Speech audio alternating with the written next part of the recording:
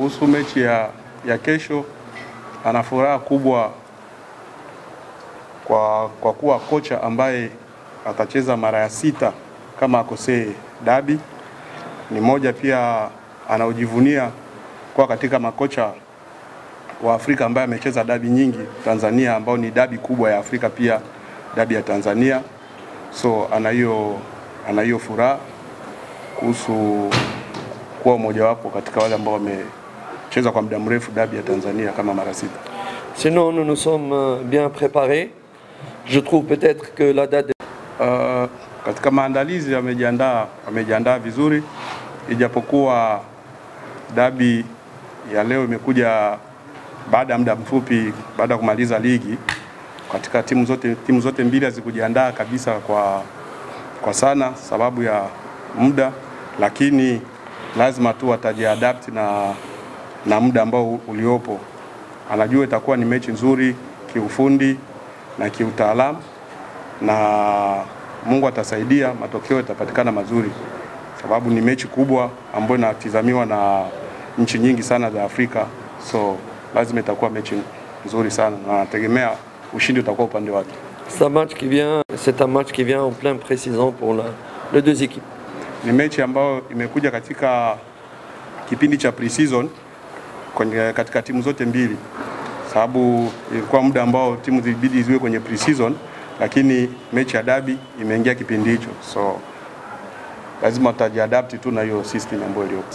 Jesus Moloko na Darius Kambole walipata majeraha kwenye mechi ya kirafiki na, na Namungo, ndio sababu ya kutokuwepo, lakini mechi ya kesho Jesus Moloko anaweza kawa atakuwepo, ila Kambole kwa mechi ya kesho hatakuwepo.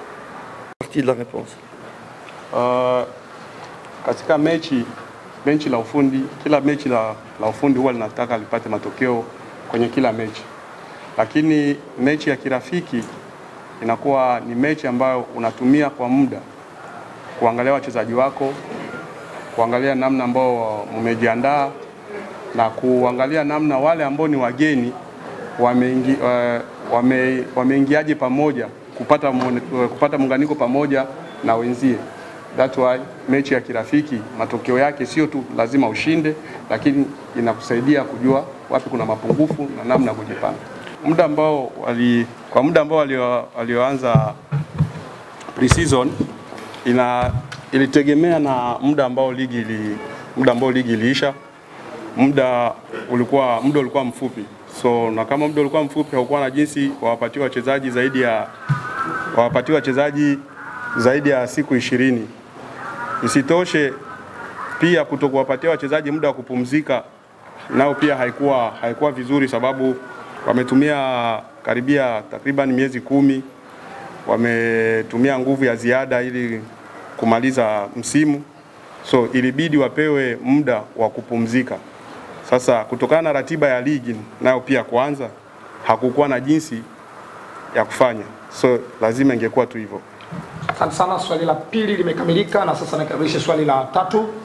Uh, wachezaji wachezaji wapya ambao wali waliokuja kwa kupata muunganiko ya pamoja na, na wengine inahitaji inahitaji muda, lakini kuna baadhi yao ambao tayari wame wako tayari tayari wanaweza kaingia kwenye timu kwa pamoja, ila isipokuwa huko mbeleni wataenda wanawaingiza uh, watakuwa wanawaingiza kidogo kidogo mmoja baada ya mwingine mmoja baada ya mwingine mpaka waje wapate muunganiko, na watakapopata muunganiko itakuwa ni timu nzuri sana.